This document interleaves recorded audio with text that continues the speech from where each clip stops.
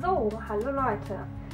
Wir haben in Gladbach einen ganz tollen Laden, der nennt sich The Peacockery. Und zwar bekommt man da Unmengen an Perlen, Anhängern, Verschlüssen, Ketten, also alles, was man so braucht, um sich seinen eigenen Schmuck herzustellen. Und äh, ja, ich habe mir da letztens schon in dem Laden hier so einen äh, Kettenanhänger geholt mit so einer Rose in Gold. Und ähm, ja, da wollte ich mir jetzt ganz gerne noch ähm, passende Ohrstecker zu machen und ein Armband. Für die Ohrstecker habe ich mir hier jetzt ähm, jeweils zwei so äh, Plättchen geholt, wo ich dann die Rosen draufkleben kann. Und dann halt noch hier so Pinopsel. Ganz einfach. Und zwar mit Sekundenkleber. Die sind hier unten halt flach. Und dann mache ich jetzt einfach jeweils ein Tröpfchen Sekundenkleber drauf. Und papp da die Rose drauf. So.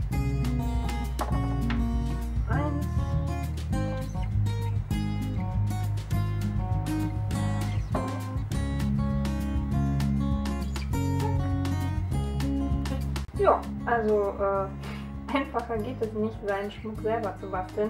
Ist auch ähm, echt günstig in dem Laden.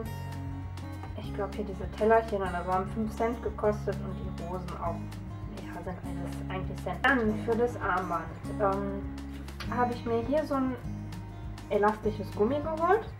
Das ist halt ganz gut, damit man das auch immer, äh, das Armband halt vernünftig übers Handgelenk bekommt.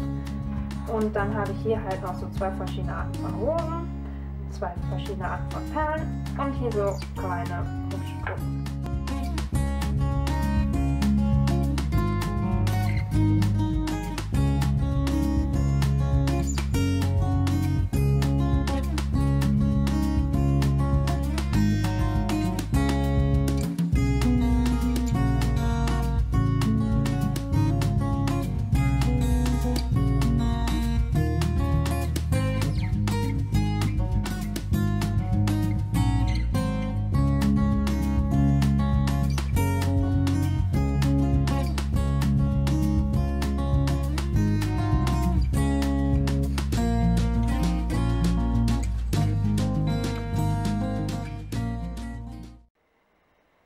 Das war es auch schon mit dem Video. Ich hoffe, es hat euch gefallen und ich hoffe, dass ihr vielleicht eine kleine Anregung bekommen habt und seht, wie einfach man seinen Schmuck auch selber gestalten kann. Und äh, ja, wenn euch das gefallen hat, dann schreibt uns einfach in die Kommentare unten rein, ob ihr noch mehr solcher ähnlichen ähm, Schmuckbastelanleitungsvideos sehen wollt.